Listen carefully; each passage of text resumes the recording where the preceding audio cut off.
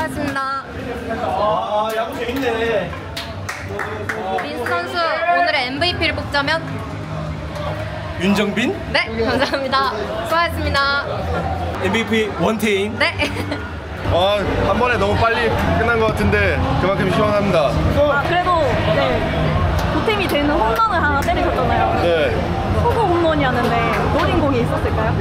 어, 대타기 때문에 제 반응이 늦을 거라고 생각하고 빠른 공을 던질 것 같아가지고 일단 무조건 늦지 않고 앞에서 치려고 했던 게 좋은 결과가 나왔던 것 같아요. 감사합니다. 수고하셨습니다. 5점 홈런 소감 한마디. 아 진짜 기분 너무 좋고 네. 또 태인이가 또 뒤에까지 열심히 던져준 덕분에 저희가 또 이렇게 이길 수 있었던 것 같습니다.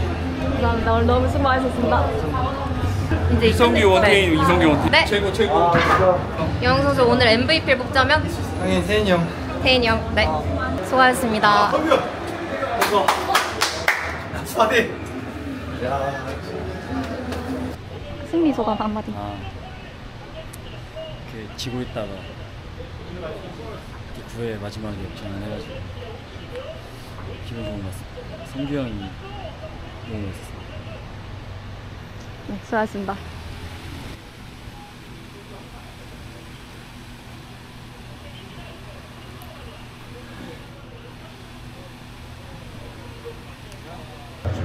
네.